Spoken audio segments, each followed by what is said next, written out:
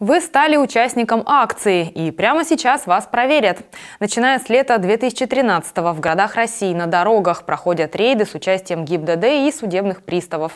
Сотрудники этих госслужб проверяют водителей на наличие долгов. Как прошел рейд в Междуреченске, смотрите далее. Дважды в неделю приставы-исполнители совместно с госавтоинспекторами выходят на дороги Междуреченска для того, чтобы проверить водителей на наличие неуплаченных штрафов за нарушение ПДД. Результаты есть, отмечают специалисты. Люди после этих рейдов бывает к нам приходят оплачивать. Некоторых бывает, что люди уже оплачивали, просто информация либо не предоставили в ГИБДД, соответственно, у нас информации тоже об оплате нету после того, как люди к нам обращаются уже с платежными документами погашения задолженности, соответственно, снижается остаток уже на исполнение штрафов ГИБДД, находящихся у нас.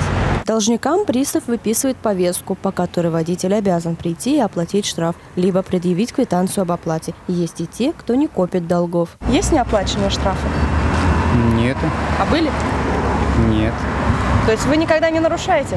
Ну почему? Бывает нарушение, но оплата вовремя проводится.